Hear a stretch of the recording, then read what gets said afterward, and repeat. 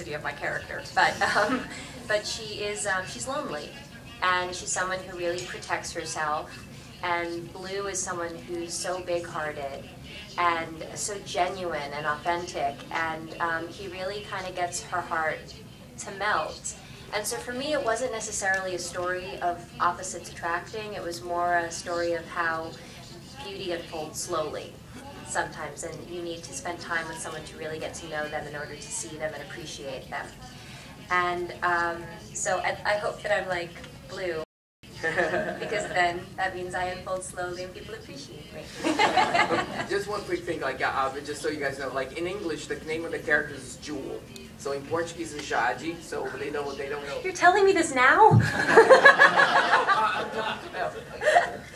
okay, your name is. Am I in this Mary. film? What's going on? Ok, I'm gonna speak in português. Uh, so, uh, em inglês é, é Ju, em português é Jade, tá? Só pra vocês saberem quando ela canta. The rest is the same. She's the only unique one. That's really nice. That's, that's, that's nice. Eh, Carlos. Sim. Hi. Um, Alberto Rondari from the Mexican newspaper Reforma and, and La Nación from Argentina. Bienvenido. Eh, muito obrigado. Um, eu moro aqui. Um, just wanted to know um, what were the little things that you had to change for uh, for to make it a, a, a movie more appealing for a broader audience. I have read uh, the rumor that you had to uh, make the bikinis bigger. Is that true or not? And, and also, how do you feel this movie will uh, uh, be received in the context of the uh, rebirth or uh, reflourishing that the city, the bl- blossoming that the city of Rio is, is having right now? And as an Argentine, I have to ask you, who wins the, the match in the movie? okay, let's do the in parts. Okay, the little changes. Yes, the bikini was true. Look, come on. You've been to the beaches in Rio. Like, I cannot show everything. so, for the brief moment that we had to do it, like, can you imagine this movie was made for, to the world, you know? So I know that um, I had to, you know, just adjust, you know, even though, like, it's not that big, you know, it's like, it's okay, you're fairly, you know, has a lot of exposure already.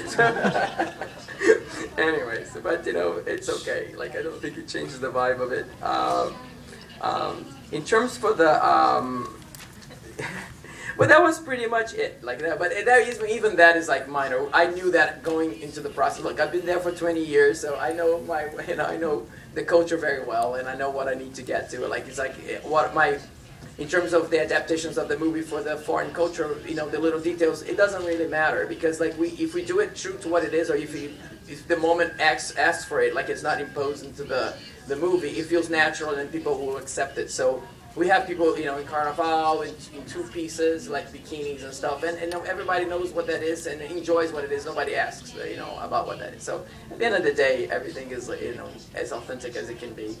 Um, in terms of the, the this moment for the city, like keep in mind that this this idea was like started like way way back ten years ago, before even the the moment that we have in Rio right now. That we're I'm very lucky and fortunate to be a part of it, and I'm so honored to be a part of it. And it was so great because uh, we're working on the story, uh, we're working together, and uh, we're doing all this stuff, and um, and all of a sudden, like all these news start to pop, like Rio's gonna be like you know the World Cup in Rio, and this in Rio, and blah blah blah in Rio, and then all of a sudden, like whoa, something's happening in Rio, like you know. And then the movie came out, and everybody was like, oh, the movie's because Rio. No, it's the other way around, you know.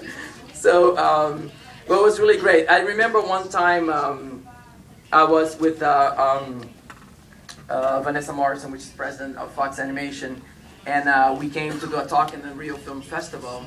And, uh, and then it, it was the minute that we arrived in Rio was the day that the city was announced that was going to be the, um, the Olympics, and, and we, uh, you know, they stayed the Copa, uh, the Copa, you know, we went to the Copa that, that that day, and there was a huge, you know, crowd, the, you know, like the, on the beach celebrating the whole thing. And I, you know, I of course I planned that very specifically, you know, so that was a great surprise. So I didn't even know it was a lot of fun just to be a part of it. Um, and there was one more question that I don't remember. Okay, I, I was trying to, you know, okay.